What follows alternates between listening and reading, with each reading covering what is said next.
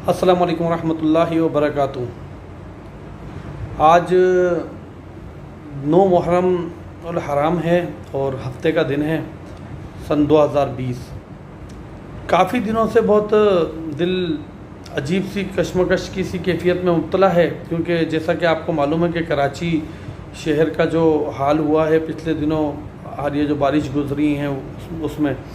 और सिंध गवर्नमेंट और city government जो इंतज़ामी एतबार से जिस तरह से नाकाम हुई है इन बारिश बारिशों में तो वो सब आपके सामने कोई ढकी छुपी बात नहीं है। तो इसके बाद हुआ क्या कि एक तो बारिशों का मामला अपनी जगह पर हैं बद इंतज़ामी उरूज पर है अपने कोई पुरसान हाल नहीं है कराची का को, को कोई ऑन करने वाला नहीं है सिंध गवर्नमेंट हो या सिटी गवर्नमेंट हो, जो भी हो, कोई ऑन करने वाला नहीं है। लावारिस शहर है कराची। तो बहरहाल ये है कि उसके बाद फिर मुहर्रम आ जाते हैं। अब मुहर्रम में क्या मामला है कि आप अपने घरों में मुकीद हैं। मुकीद होने पर मजबूर हैं। मतलब मोबाइल नेटवर्क है नहीं और नेट भी नहीं है। कश्मीर जैसी सूरत हाल बनी हुई है। आप अपने घरों घरों में मुकीद हैं। कामों पर आप जा नहीं सकते क्योंकि जबरन दुकानें बंद करा दी गई हैं। इसके अलावा बाहर आप निकल नहीं सकते। पानी भर, भरा हुआ है रोडों पर। रोड ख़राब हुए हुए हैं गलियाँ ख़राब हुई हुई हैं। मकबूजा इलाके में किसी में रह रहे हैं हम। मुझे समझ नहीं आ रहा है क्या हो रहा है ये। मतलब सिंध हुकूमत मुसलसल जो है वो आ, मतलब बगावत फैलाने में अपना किरदार अदा कर रही है उर्दू स्पीकिंग लोग। मतलब सूबा बनाने की अगर बात कर दी जाए तो वो तो गुनाह कबीरा हो जाएगा। फिर आप गालम गलोच पर आ जाएँगे क्योंकि मतलब आ, बकौल आपके के मतलब आपने तो बड़े एहसानात किए हैं हमारे ऊपर। तो ये मामला एक अलग है ये सियासी मामला है।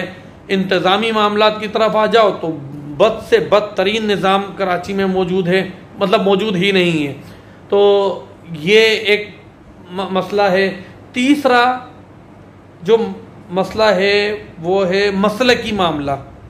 मतलब आप अहल तशियों का मामला हो तो जहाँ उनकी इबादत गाह है, इमाम बारगाह है, जो भी है मतलब आप पहले तो वो इलाका सील करते थे, अब वो रोड सील करने लगे आप, अब उससे कई कई किलोमीटर दूर तक आप रोड सील कर देते हो।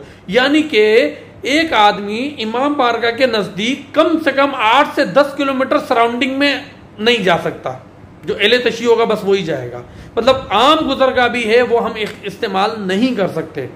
यार क्या है यार?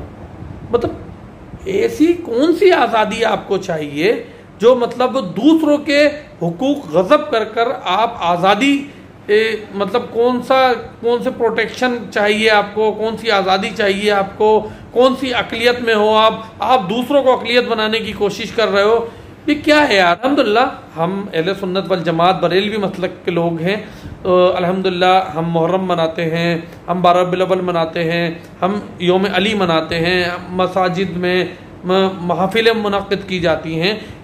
ऐसा नहीं है कि मतलब भाई कोई हम अलग कोई मज़हब से ताल्लुक़ रखते हैं ये जिन लोगों के अयाम आप मनाते हो, इतनी ही जोशो खरोश से हम लोग भी मनाते हैं।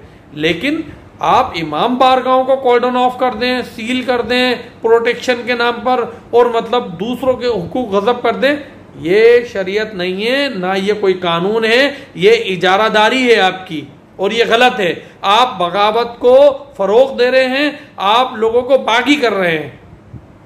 आप इस पर सोचें सिंध गवर्नमेंट से मेरी अपील है कि इस पर सोचें और लोगों को बागी होने से बचाएँ। और खुदा न खास्ता आगे चलकर कोई ऐसे मामला ना हो जो लसानी एतबार पर से या मसला की एतबार से कोई बदमजगी का मामला आगे बढ़े तो इसको देखने की और तोज़ुन बरकरार रखने की ज़रूरत है। जजाकल्ला असल वरहमल वर्का